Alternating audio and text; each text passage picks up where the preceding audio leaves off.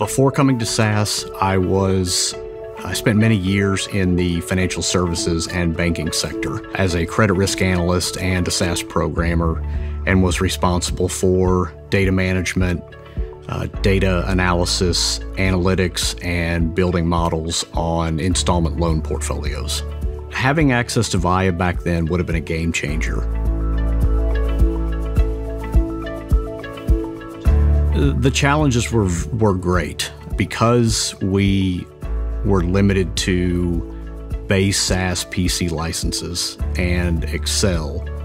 Uh, right out of the gate, we're limited to using samples of data instead of analyzing entire portfolios of data because I could only work within the constraints of the disk space and the RAM on my PC.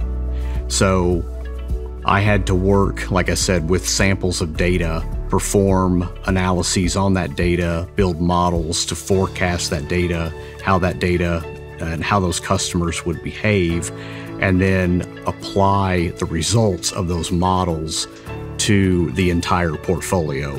So there were a lot of assumptions made, and it really made the entire portfolio less predictive. Having a multi threaded and possibly distributed environment would have greatly enhanced my job, but also overall operations within the company.